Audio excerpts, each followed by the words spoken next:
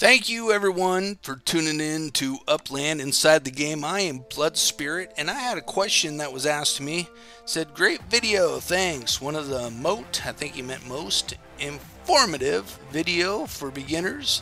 What do you cons- What do you consider a low ball price, and how do you determine your selling price? Wow, that that is a absolute loaded question and it's 100% based upon multiple things. It's based upon how you want to play the game. It's based upon how much you bought in.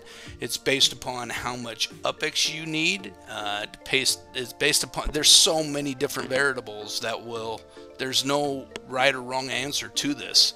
But he did ask how I do it, so this is what I do. Uh, the first thing I do is I, I, I know where I need to know where my floor is. Okay, so I'm always looking at where the floor on the on the thing is. We'll talk about this in just a second. I'm having computer issues. I don't know if I need to defrag my computer or what, but I need to um, know what the floor is. So get rid of this goofy guy here that uh, is in jail for whatever reason, and get down to where the real floor is. So that that's what I need to know. That's where the cash price, I need to know the UPEX price. This will take forever to scroll down. I'm not even going to do it. But this is Chicago. By the way, I'm starting to notice the whites are disappearing in Chicago. This is pretty awesome. Uh, the floor is about to be set. But um, so I need to know that. I also need to know a general idea of my neighborhood. Now this is this is how I look at that. So I will go into why would somebody charge more? Well, here is kind of a big area. If you need to fill in a treasure map, I'm going to go with pretty much right here in this area in this county. And I'm going to pull the floor up on that and see, see what the floor says on that. And much different floor, right? Much different price, right? We're up to 8,000 UPX for the minimum. I believe. I'm not wearing my glasses. Anyways, we've that is what you have to figure out based upon what you're going to do. And I always do a little bit above the floor because one of my strategies was early on, and it still happens quite often, is uh, I like to try to raise the floor. When I get a bunch of uh, friends that are willing to put in five, six hundred bucks, or between the three or four of us, um, a couple hundred bucks each, we will do whatever we can to raise the floor up so that we're um, you know, making some profit, and that's one strategy. I don't do it a whole lot anymore because I got, I wouldn't say I got burned, but whew, boy, that was some some tight days there.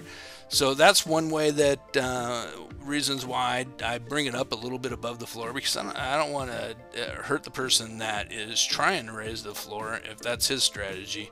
But then again, if I'm with somebody who's trying to raise the floor, I raise it up a little bit higher than what the floor is and they're trying to raise the floor, I'm going to sell those properties for the right price. Also, make sure um, when you look at one of your properties, it's going to tell you what you purchased that property for, right? You never want to pay um, charge less than what you pay for it. And you got to remember the commissions. So this is what I paid for this property. I don't think this includes the commission because I think this was the price that I paid for it. I can look at my data and make sure. But you want to make sure that I believe the commission on this will be about 170 UPX. I believe. Let me think here real quick. Um, yeah, about 100, about 160, I think. So you want to make sure that you're selling this property and you look at the price down here below when you sell it because it says this is what you'll get. Let me just show you real quick so that you can see. So if I put, if I were to sell this property, right, and I was, let's say I put 1500 or uh, 15,000 excuse me and then it's going to say right down here this is what I'll actually receive for that property. I'm not going to sell that property. So I, if I if I sold this property I would make um, probably about a thousand UPX when, if I sold it for that price which I'm not going to sell this property. I have no desire to sell it.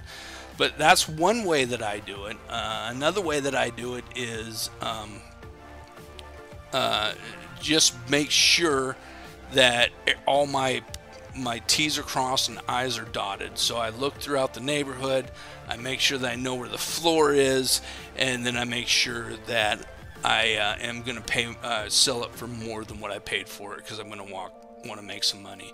So there's my reasons and ways to figure out how to sell properties. I'm very curious if any of you have some other strategies and, and how you consider on reselling a property. Um, leave them in the comments. That would be awesome just to, to, share some strategies and share some ideas on how we all uh, share properties or sell properties. My name is Bloodspirit. This is Upland Inside the Game. Thank you very much for tuning in.